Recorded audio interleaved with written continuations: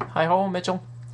Uh, well, you scared me a bit when it uh, soloing pole and then it cuts off. Mine in the gutter type of thing.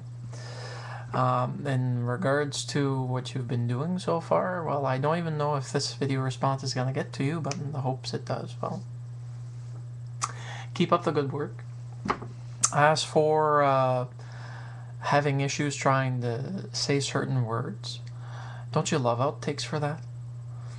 I think the best I've ever loved is Worcestershire. The sauce, you know, the one that Donkey likes to say is spicy. Well, it's always fun to just frig it up a bit. And that's pretty much it. But keep up the good work.